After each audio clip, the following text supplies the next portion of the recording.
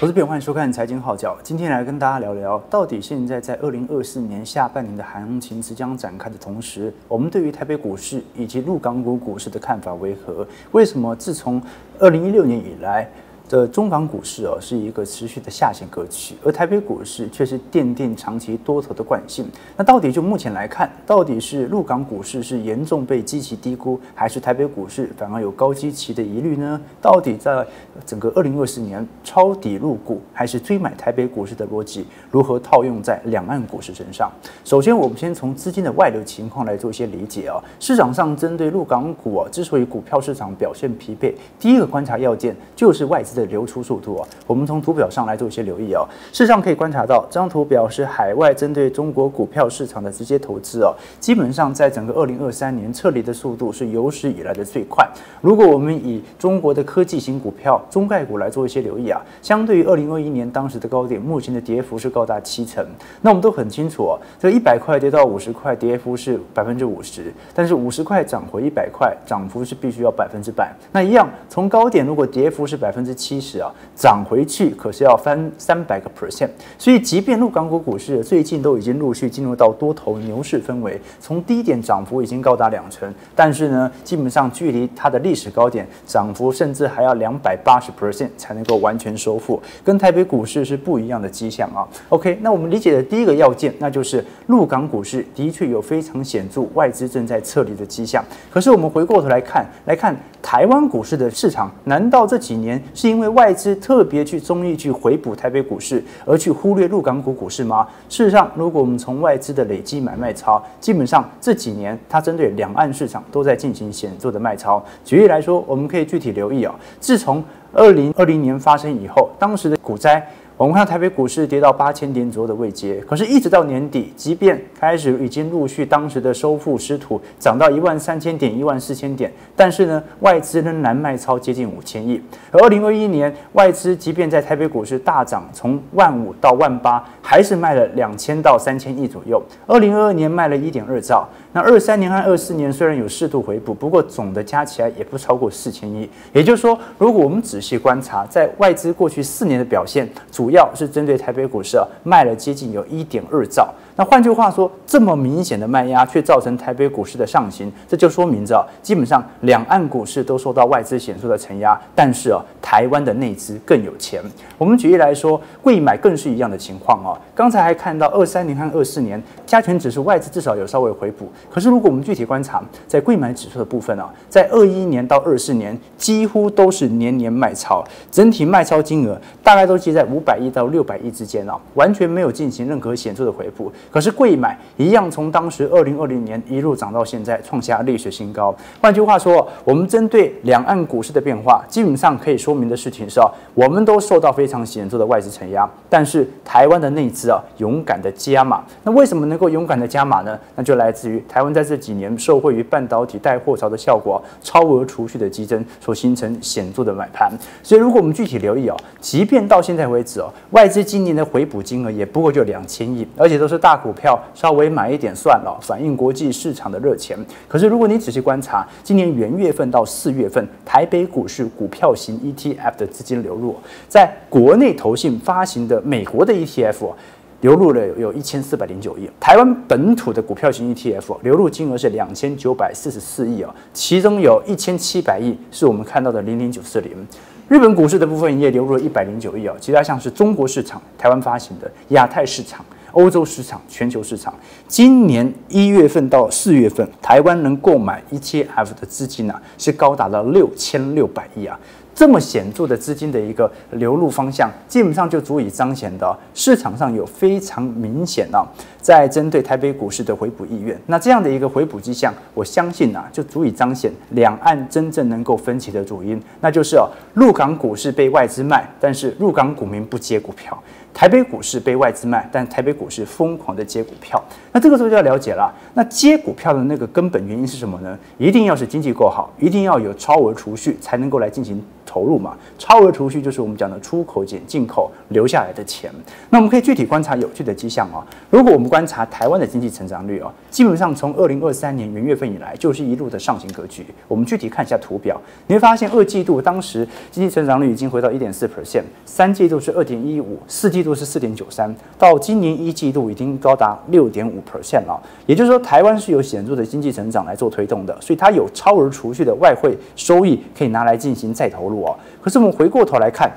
中国市场呢？中国市场其实经济表现也不错，去年还有四趴多左右的成长，今年甚至我们像是大摩、瑞银、花旗、法国、高盛都认为大概会有五 percent 到四点九 percent 左右的增长区间。也就是说，在过去几个季度。台湾的经济成长和中国的经济成长好像表现都不算太差，那为什么会变成台北股市有内资买盘，但是陆港股市却没有呢？原因是因为哦，如果你仔细观察一下真实数据，你会发现哦，中国的经济成长率啊，虽然它有显著的高成长，但它似乎有一点实质失真的迹象存在。这个失真的现象可能暗示着中国内部的经济表现没有来得如此亮丽。我们举例来说，如果我们把 GDP 的增长拿一个标准定义来看。经济好不可能税收会变少嘛？我们以今年台湾一季度的主要税收来做观察，重所税年增长一成四哦，第一季税收是高达一千两百六十四亿啊，房地合一税年增率高达七成六，第一季税收一百一十三亿哦，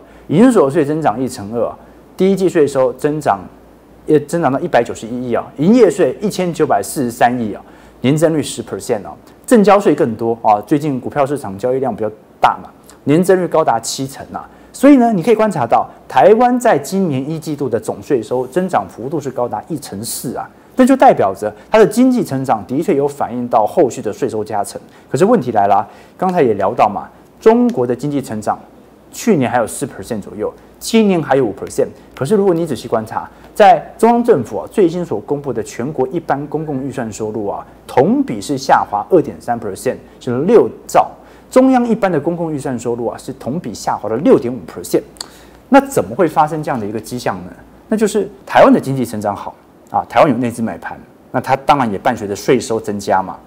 但是中国市场就很特别，它经济成长表现也不错，甚至去年还比台湾好。但问题在于，它的税收减少了啊，这肯定就是有一些实质数据的失真。所以最后，你从出口值来做做观察，就可以了解到啊，真正引领台湾内资能够显著上升的，第一个是它的数据一定是真的啦。台湾呢，现在如果是以今年元月到四月平均每个月的出口值啊，大概在三百六十九点五亿美元呢。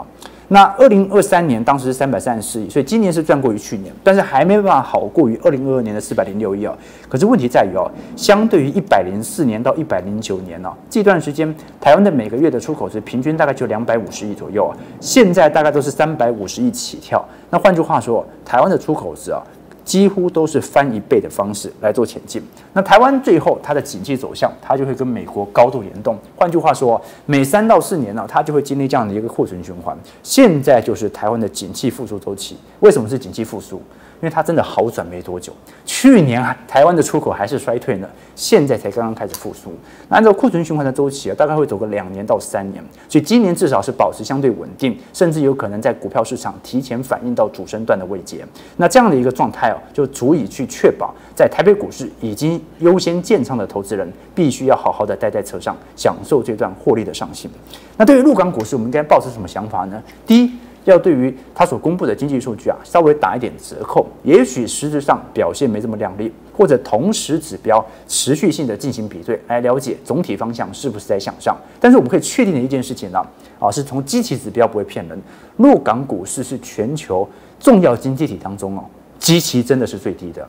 台北股市目前的本益比是高达二十二倍，会不会再扩增？应该还会，而且甚至有可能由于 EPS 的快速拉升，导致本益比还会适度的下滑。但它最终反映的是景气的尽头，什么意思呢？警戒信号灯没有到红灯，你当然就永远抱着台北股市嘛。那陆港股市它是不同逻辑哦，你买它这个时候也是不期待它能够有爆发式的经济增长条件，毕竟这几年国际政经局势的变化有太大改变。但是呢，从机器来看，它的本益比啊只有八倍。好八倍哦，它本益比连台北股市的一半都不到哦。我们具体看一下指标，如果是以过去的经验来看，陆港股市哦，如果 MACI 中国指数的本益比啊回到八倍的条件啊，按照过往经验啊，通常在未来一年到一年半啊，整体涨幅都是三成到五成起跳。那这个涨幅主要并不是创新高的涨幅，而是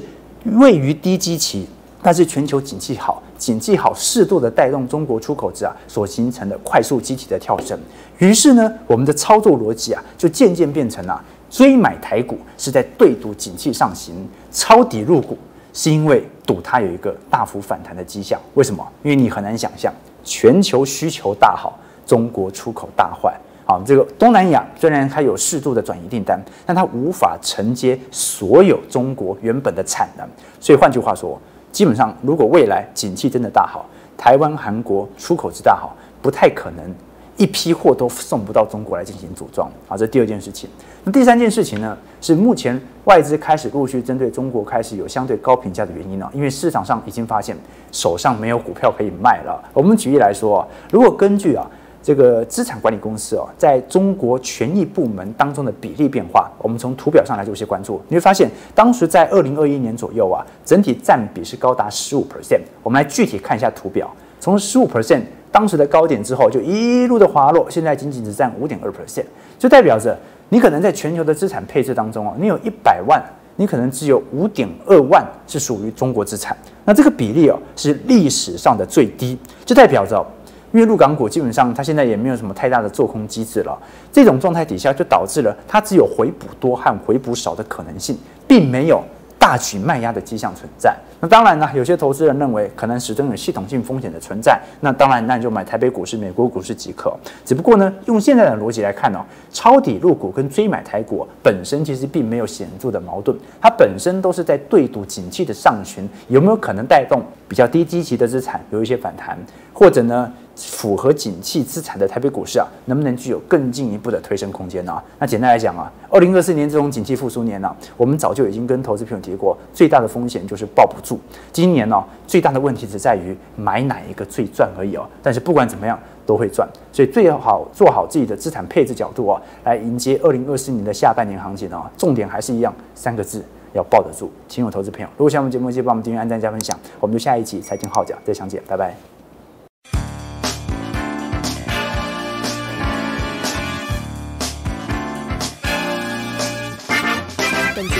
推介商品无不当之财务利益关系，资料仅供参考，投资人应独立判断、审慎评估并自负投资风险。